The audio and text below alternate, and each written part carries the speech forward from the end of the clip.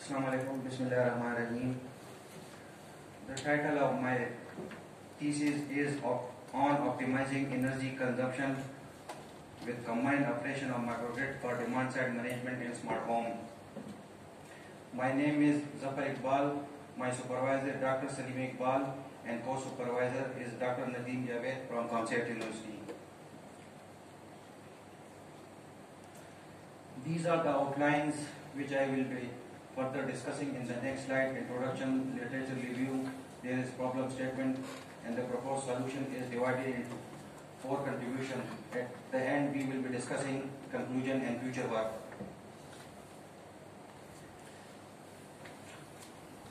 The main theme of my dissertation is optimization of certain electricity parameters such as balance use of energy consumption, peak to average ratio, uh, user uh, comfort and appliances waiting time. For this purpose, we have used heuristic algorithms and at least a dozen of heuristic algorithm, hybrid heuristic algorithm has been proposed.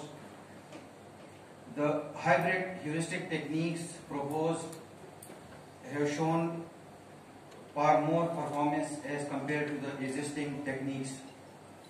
We have also integrated IES and ESS using different uh, ODIs, uh, time intervals and different pricing schemes. Here I have focused on the smart grid, microgrid and home energy management of the smart home considering demand side management and DR techniques. So here I will be shortly discussing traditional grid and its disadvantages as compared to the smart grid. The traditional grid have some alarming situations like increasing population, global warming, rise in carbon emission, increasing electricity demands. As the electricity demand is increasing day by day, the generation of energy through fossil fuels uh, emit a huge amount of carbon into the environment which causes global warming. Another disadvantage is centralized approach. The, main, the, the present electric grid is centralized. If the, the electric grid going to fail, the whole electricity infrastructure of a particular region going are going to be down. There is also another disadvantage is discussed in reference to electricity wastage. So according to reference to 65% of electricity is wasted during generation, transmission and distribution of electricity. Another disadvantage is unidirectional communication, which is wasted of the energy due to lack of novel technologies.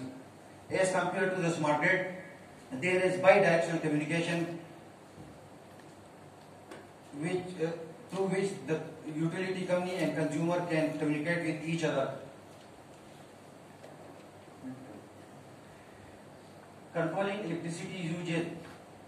There is no scheduling and proper coordination of alliances, energy sharing and trading in the traditional grid. But all these things are properly present in the smart grid. There is proper scheduling of the load and appliances, coordination of appliances, and energy shared among, shared among neighbors and traded back to the utility company in smart grid. Large scale integration of renewable energy resources uh, into the traditional grid is also a big problem and causes power system complexity and vulnerability of the system. So that is why we need to transform conventional grid into smart grid using ICT solutions through which we can exploit stability and reliability of the system and efficiently we can incorporate RES and distributed generation into the smart grid. Next. Now smart grid and its role in traditional grid. We mainly focus on demand side management as explained in these references, which are initiative and technology that encourage consumer to optimize their energy consumption pattern for cost optimization and fees reduction. approximately 30% of energy can be saved using DSM techniques. So here demand side and supply side. So I we have worked on demand side as compared to supply side. As we say, the demand side is a short-term approach, approach and supply side is a long-term approach.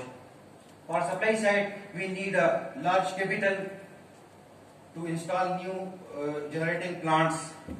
But in demand side, we can uh, easily manage the existing amount of energy to efficiently use it. By reorganizing the pattern of energy consumption of the users, by educating them, by replacing traditional grid into smart grid, by using advanced metering infrastructure and a two-way communication method. MI is a metering uh, mechanism, uh, communication network, and data management system, which help in two-way communication between the utility company and the consumers. Consumer can send their information to the utility company, and the utility company can send share information to the consumers. Demand response is a sub-program of the uh, demand side management technique. Is a specific set of rules which provide multiple incentive to the consumers to change their or modify their energy consumption behavior by using different pricing signal and energy management controller. As I have also designed a microgrid uh, or integrated RES into, so I will discuss um, uh, role of microgrid in the smart grid. Microgrid is a small scale power generating system which operate in two different type of mode, grid connected and off grid mode. In grid connected, it give energy to the electric grid and in off grid, the energy is locally used. As I have designed in contribution 3, the microgrid is connected to electric grid and I have used PV and wind turbine.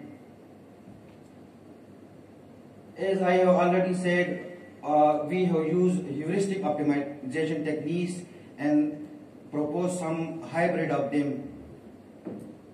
Energy scheduling effect on consumers is cost reduction, peak ratio reduction, user comfort, and efficient utilization of energies. And I have optimized all these four parameters. This is some of the literature review I have. I have given the heuristic techniques, their objectives, finding, and some limitations. In reference 19, the author used heuristic algorithm, hybrid algorithm, and multiple knapsack problem to optimize cost and PAR. They have achieved 25% PAR and 24% uh, by HGPO, but they did not consider appliances waiting time, which is a trade-off parameter for user comfort. In reference 20, wind driven optimization and knapsack-based wind driven optimization technique is proposed for controlling residential load. They efficiently reduce cost and peak to average ratio, but they ignore the user comfort. In reference 21, BPSO and neural fuzzy logic are used for electricity price forecasting. They have efficiently forecast the electricity market price using MAP, but they have uh, ignored the computational time. In 22, the author used intelligent PSO for peak load reduction, and they efficiently reduce the peak load. But they their user comfort is compromised, and they also use uh, passive appliances, not active. In 23, PSO and GA technique are used to minimize electricity cost. They have achieved their goal, but the user comfort is compromised. In reference 24, mathematical technique, mixed integer linear programming are used to schedule the domestic appliances. They minimize the cost and user comfort is ignored. In reference 25, greedy algorithm are used by the author to optimize electricity costs using general cost model. They minimize, they efficiently minimize the user frustration uh, and cost, discomfort, PAR and system complexity is ignored. In reference 26, TLBO and SFL uh, techniques are used for optimization of DR programs. They optimize the cost, but RES is not integrated. In level 27, PSO and MLP are used. In 28, gravel optimization, ANN and game theory algorithm are used, and similarly, they optimize the load or cost with some uh, limitation like uh, reliable power grid limitation, constraint are not uh, follow properly, RES is not integrated. Problem statement. In grid, DSM technique overcomes some regular use of electricity load to the consumer. There are multiple cases for improper usage of electricity, especially in the industrial sector. There are four cases. In case first, local, there, there may be no local power generation as we have used in contribution 3 for fulfilling the consumer uh, energy requirement.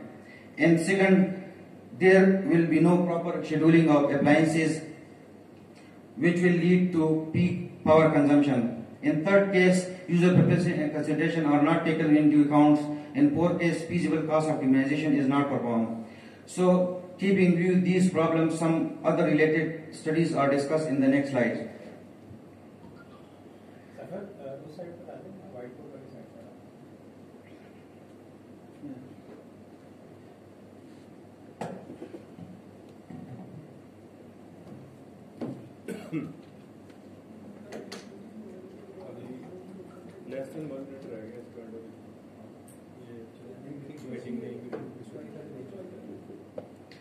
In reference 35, they have introduced the similar problem. There is no RES integration. In 36 and 37, the user comfort is compromised. In 38, they also PR and user comfort is ignored.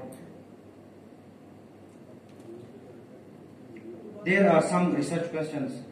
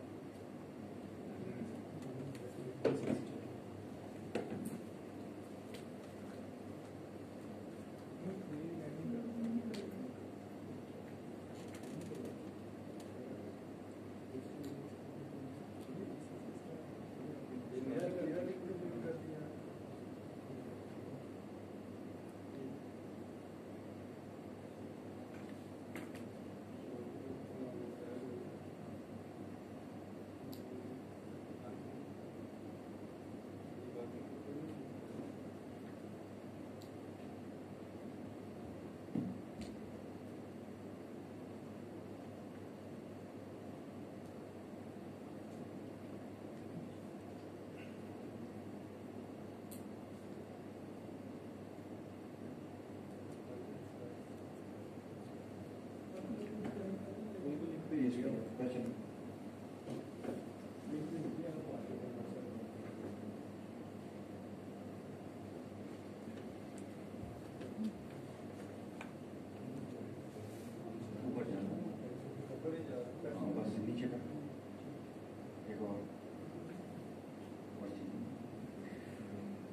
There are some research questions of this thesis how local generation help in cost minimization and peak average ratio for both consumer and the utilities. As we have used the local generation in contribution 3, how consumer can maintain their comfort standard by utilizing the local generation or microgrid.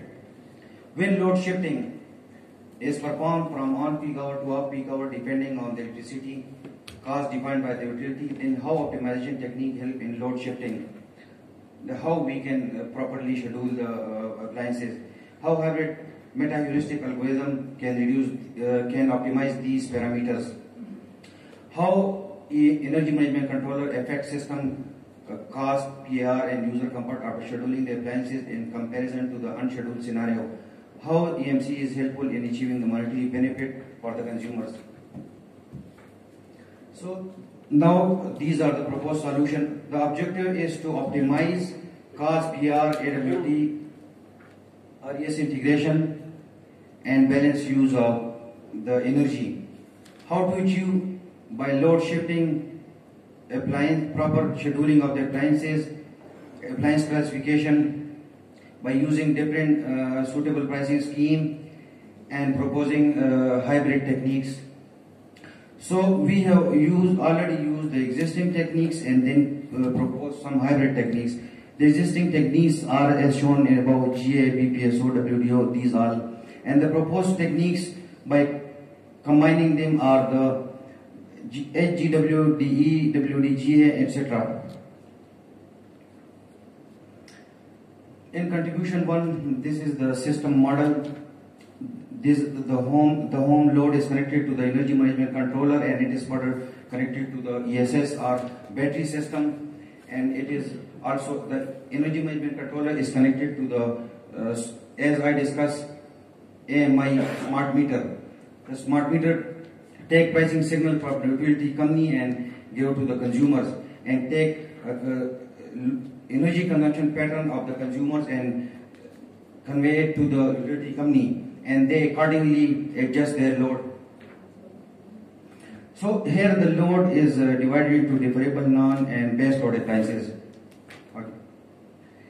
In deferable appliances, I have modeled these uh, equation that cannot be interrupted or shifted to electricity utilization by given by equation 1 total cost per hour by equation 2 i have already explained all the variable total electricity consumption for multiple home and total electricity cost for multiple home are are described by equation 4 and 5 similar is the non-deferable appliances that it cannot be shifted or interrupted during execution like refrigerator and clear parting. So these are the equation power rating of each appliance and each utilization is given by 6 cost over individual time slot uh, by equation 7 cost per day uh, by, uh, by equation 8 and total electricity consumption and total electricity cost of all the appliances is indicated in equation 9 and 10. The third type is base load appliances, which consist of regular uh, load. We cannot modify the operation of these appliances.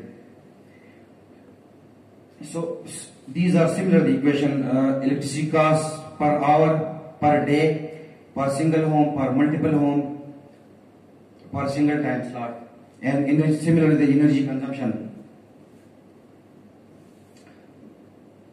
Electric- electricity cost calculation using pricing signal as I I have already discussed real-time pricing and critical peak pricing.